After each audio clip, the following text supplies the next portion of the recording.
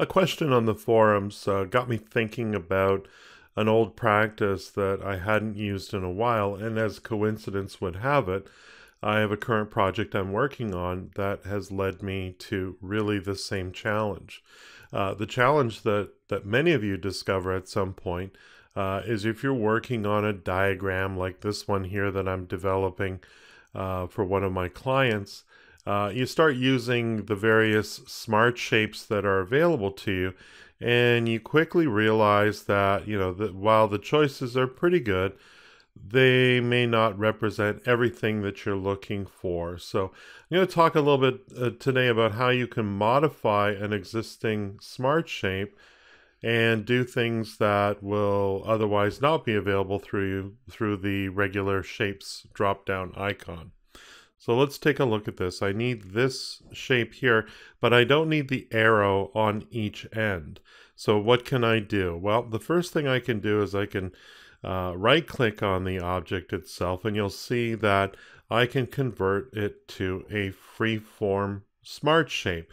Now this particular smart shape has different uh, selection handles for adjusting the arrow size, for example.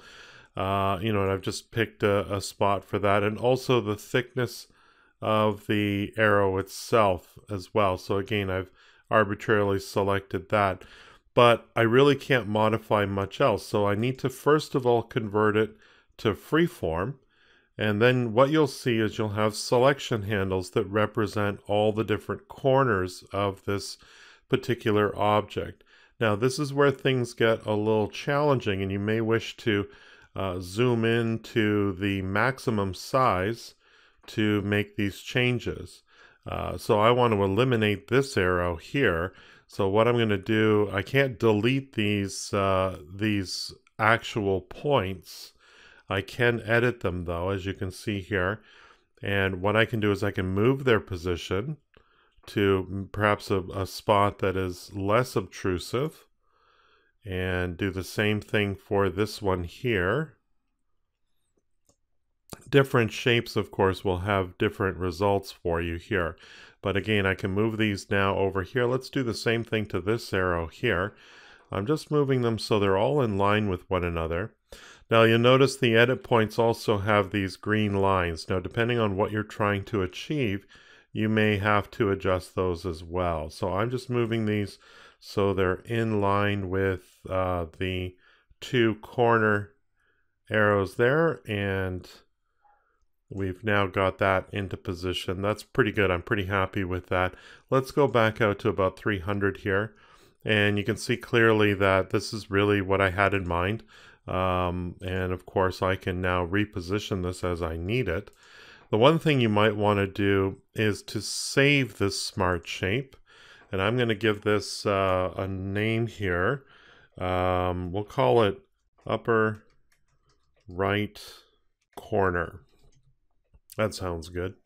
And so I'm going to rename this item. It now has a specific name there. And you'll see that it's available in my recently used shapes area here. So I could actually create another one of these uh, at a later time uh, just by going into the shapes area here and selecting that and draw a new one based on the, the things that I did earlier. So hopefully that helps you guys out. I know that it's a, a skill that's a, a little bit more uh, hands-on and manual, but uh, it should help you creating your various diagrams in Adobe Captivate.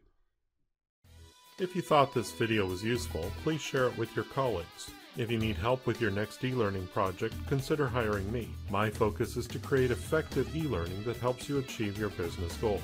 Visit my website at captivateteacher.com, follow me on Twitter at paulwilsonld, and don't forget to subscribe to my YouTube channel.